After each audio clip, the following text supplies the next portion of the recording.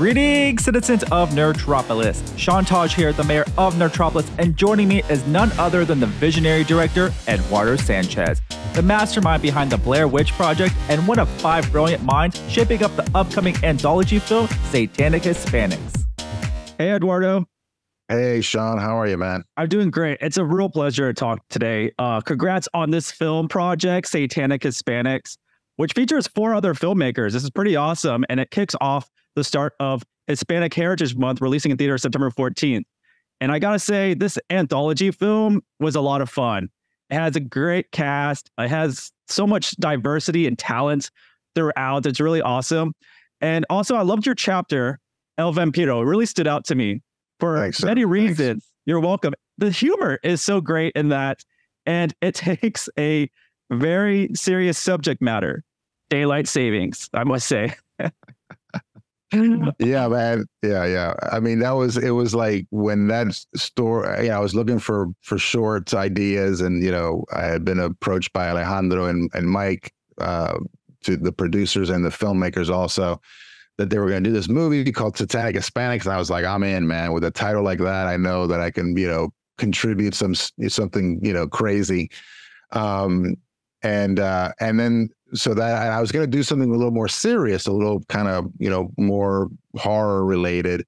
And then this idea came through, and I, I was had been wanting to work with Hemky Madera for you know since Queen of the South, and and I was like, oh my god, Hemky would kill in this role. So I sent him the idea. He's like, I'm in, and um, you know, and the rest is history. But yeah, it was that daylight savings time It's just you know just the this this immortal person this immortal is like you know, it, it, his um, Achilles heel is daylight savings. You know, I just thought it was just so funny, you know, and and and you know, like the the perfect tone for this for a movie called Satanic Hispanics. You know, just everyone, I guess, hates daylight savings. I hate it. What about you? Are you a fan of it? I hate it. I mean, you know, yeah, and I mean, just yeah, it does have its advantages. Some, you know, the whole not having to wake up in the dark and all that stuff for you know kids, mostly for school. But it's just such a you know, it's just such a twice a year, just kind of like it's like a you know you got to get your footing again, and it just seems like there's so much lo- loss of um like they've done studies that there's there's so much it's so counterproductive to to to things to society. Um, yeah, I hope I hope eventually they get rid of it, man everyone needs to see this film then in this chapter. That's the best thing to kind of hopefully get rid of it. I loved it. It was yeah. great. And each director brought their own distinct background and storytelling approach. Uh, first off, what was the inspiration, you know, creating the anthology aspect of this film? I mean, you know, it was I've been involved in, you know, a few anthologies and um, you know, they they do give you a freedom that you don't have, you know, normally in, you know, in the basic in the career, you know, I'm, I do a lot of TV, so, you know, it's mostly scripts that are you know given to me and i go in and i do my job and collaborate but um, you know it, it, it, this is really real freedom when alejandro and mike were like just do whatever you want. Um, it can be you know any subgenre of, of horror. Um, it kind of really just kind of blew my mind. And then the title you know for me was like this is um like you know you you don't know what you expect from that title but you do know what you ex- to expect you know what i'm saying? Like so for me it was just like okay how do i take this title this title and like it's you know and how do i get inspired by it and really you know become part of this you know become part of it you know what i mean?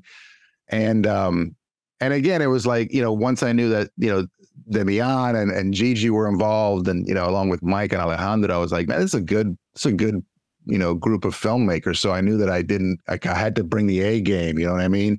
Um and uh and i just you know i was just so happy with the the result you know? I think everybody was having a good time and um you know it's low budget so there's always like you know the horror stories of making a low budget movie horror movie is more horrifying than the movie itself most of the time um, but we did our best and, you know, we put as much on the screen as we could. And, and it seems like all of us were having a good time. And, and I think all of the, all the filmmakers are very proud of their films and their and the film in in general, and um, you know that's kind of cool. I, I again I, I, feel honored to be a part of it and and and you know share the screen time with you know all these really talented filmmakers.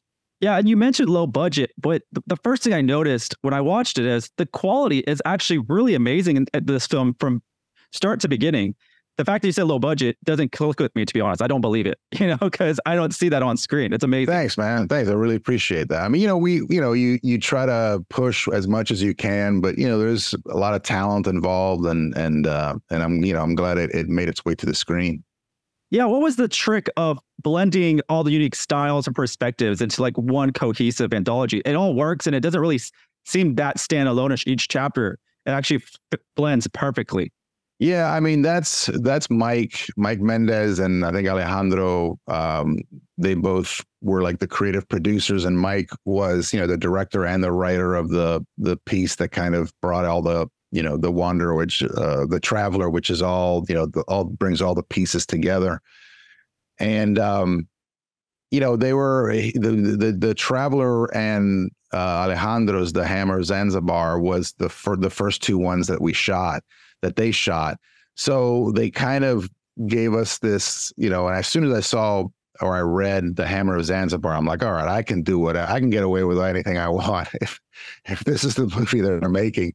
Um, and uh, so, you know, there was a lot of at least with us, there was a lot of interaction about, you know, what's the order of the segments and how do we introduce them. And I and I think that Mike you know, through the editing and the writing and the directing, I think he just did a great job in like mixing them up and you know, and you're and like you were saying, kind of make it like like it, the movies seem a lot more coordinated than they were. You know what I mean? And and that's sometimes in, in anthologies, sometimes that works and sometimes it doesn't work. And um and the fact that they gave us that they all you know they gave us all this freedom and all this kind of artistic um you know real estate to work in and the and then the fact that the movie does work. It has the, you know, it ebbs and flows and seriousness and social issues. And like, you know, it does kind of like touch a lot of things and, and it's downright, you know, slapstick comedy to like very serious horror. And, um, you know, so, so I, I think it's a testament to just kind of like, you know, a little bit of luck and also just like, you know, when you let people really, you know, make things from their heart, it somehow seem somehow works. You know what I mean? And this is another example of that. You know, that kind of magic coming together. Yeah. While the other chapters were filming, the directors were working. Were you on set too, kind of seeing what they were doing? No, no. I was. I mean, I, I did my segment in Maryland, where I live on the East Coast, and then Alejandro and Mike did their um, segments in LA, and then Gigi did it in Mexico, and Demian did it in Argentina. So there was you know, we didn't have the budget for travel, or I, I mean, I would have loved to have gone to Argentina and or Mexico or even LA, like to you know hang out on, especially on a set that I'm not doing anything on. But no, we didn't have, you know, we, we didn't have the the budget for travel. So I think um, we just kind of, I mean, they we kind of had to trust each other. That that's kind of the bottom line. We we definitely had to, you know, have faith in what we were doing and kind of fingers crossed that it was all going to blend in together. You know. Yeah, well, that's awesome. They're all shot at different locations, and the fact that they all work together perfectly it just shows you how much talent there is and cohesiveness with this movie, which is amazing to hear. That you know it was shot all over the world, pretty much. Yeah, yeah. Thank you, sir. Appreciate that. Yeah, and when we got the traveler, which is a great main character, is there a chance that this can continue on and we can see the traveler again? You know, what's next for this Satanic Hispanics anthology? I mean, you know, we hope that there's a part two. Um, and I, you know, like, uh, you know, I haven't talked to anybody. I mean, I think that, I mean, I would be, I would love to come back, but I also feel that like maybe, you know, you get new filmmakers to kind of come in. There's plenty of like talented Latino filmmakers out there that, you know, would love to be involved and we would love to be involved. Um, so I think that that, you know, hopefully that's where it's going. Um, and the traveler, you're right. I mean, you could, you know, there, there is, there are some legs to that you know character I, you know um and um so i think that that you know whether they use it or not that's a great that's a good at least that's a good place to start you know um with that idea. Um and again you know i mean hopefully we haven't burned any bridges with it when you know with any of the actors but you know bringing them back or whatever I, you know hopefully that that could be cool too but I haven't, you know, we don't know. I mean, I, I, Mike and Alejandro probably know more about that, have given it more thought than than than we have. But right now, I mean, we we were just scrambling the whole time to get the movie done. And, you know, again, like it was just, you know, it, it was a work of love from, from, for all of us. And it's a miracle that we got it done. You know what I mean? That, and um, so it's, you know, it's just a testament to like, you know, the, the dedication of, especially of Mike and, and Alejandro, who really, championed this movie from the very beginning and kind of kept it together sometimes with just like duct tape, you know um, you know, so it, it, it, was, it's definitely, you know, they a huge, you know, they have, they, they, they bear the, the, um, the majority of the responsibility for this film, whether you love it or not, they're responsible for most of it, you know? Yeah, I could I could say probably there could be multiple travelers too if you think about it. You know, that'd be kind of fun to kind of see if that you can do that and go a different route as well. Yeah, man. I mean, I think that that um, you know it definitely could go anywhere. You know, and even you know again like a different yeah a female traveler or you know just you can do you know I think the sky's the limit and and uh, hopefully they'll uh, you know hopefully this will be successful enough to you know warrant a, sequel. You know, we're we got our fingers crossed on it. Yeah, fingers crossed indeed. And growing up, what films inspired you to become a filmmaker? I mean, I was raised, you know, I was raised in the 70s. So for me, it was, you know, Star Wars and Steven Spielberg. You know, I mean, as a kid, you know, like, and then later on, you know, obviously, you know, when I got to more adult age, Scorsese, and I love Brian De Palma, and you know, um, but really like Star Wars, kind of like shook my world so much, and like was like, you know, introduced me to something else and I was that's something I had never seen before, and I was got me really interested in how they made these movies and how they did the special effects, and then that led to you know to other things, and then still you know Spielberg, um, you know just like so many movies that like just touched me as a kid, um, and then like I said later on, you know Scorsese and Brian De Palma and you know Spike Lee and you know Robert Rodriguez and you know Kevin Smith, you know the the indie spirit of like you know making a movie for like you know twenty thousand bucks or whatever. That really you know was ingrained in me, and they, you know they kind of wrote give us a little bit of a blueprint. That's how to do it, and um, but um, but yeah, those are. I mean, you know, Star Wars for somebody my a filmmaker my age, it's probably going to be the main. You know, it's going to be somewhere up there because I think that it just you know, it, it, it, it, um, it really brought in the, the, the age of like wanting of kids wanting to be a filmmaker. I think that movie really like kind of galvanized that, you know, there's so many people that I meet that are either younger than me or a little older or the same age. And they're like, yeah, Star Wars was, you know, the, the pivotal moment, um, in cinema for me. So, um, you know, yeah, it would be have to be those films. And then as, as far as horror is concerned, you know, Blair Witch was born from the show In Search of with Leonard Nimoy, and it was born from, you know, the Patterson Gimlin footage and Legend of Boggy Creek.